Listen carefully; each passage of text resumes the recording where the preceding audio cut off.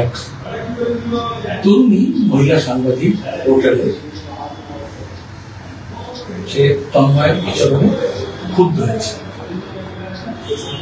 গেছিল তার কাছ থেকে বাইক নিতে যেটা সাধারণত ওদের কাজ সংগ্রহ করা খবর এবং ও এগুলো বলেও যে বাড়ি থেকে প্রথমত সেটা বাড়ি থেকে কেন বলে সেটাই আমি বুঝি না।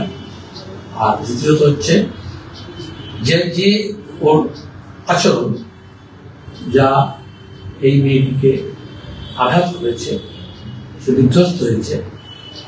আজকালকার দিনে অনেকে সেন্সিটাইজ করতে হয় যে কোন টাচ কোন ব্যবহার, কোনটা ব্যাড কোনটা গুড এসব মেয়েরা ভালো করে সচেতন বুঝতে পারে আমাদের সচেতন করতে হয়।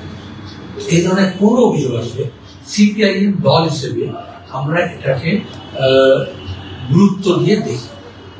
আমাদের ইন্টারনাল কমপ্লেন কমিটি আছে।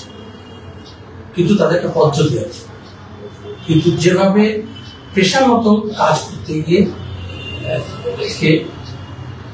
তার প্রতি সে প্রতি যে আচরণ করেছে, সেটা খুবই গরিত পার্টি কিছুতেই সেটাকে সমর্থন করে না। কেউ এটাকে ভালো চোখে দেখবেন না।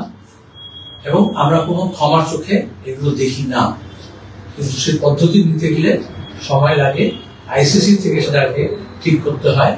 তার আগে আমরা আজকেই ওকে নিলম্বিত করব সাসপেন্ড করব, এবং সময়টা এগুলো তাকে সিদ্ধান্ত করে করতে হবে কিছুদিনে যতক্ষণে আইসি এই তদন্ত করে নিয়ে যে পদক্ষেপ তারা সেশন দেবে, যা পরামর্শ দেবে, বা যে প্রস্তাব রাখবেন সেটাকেই আমরা গ্রহণ করব এই ব্যাপারে।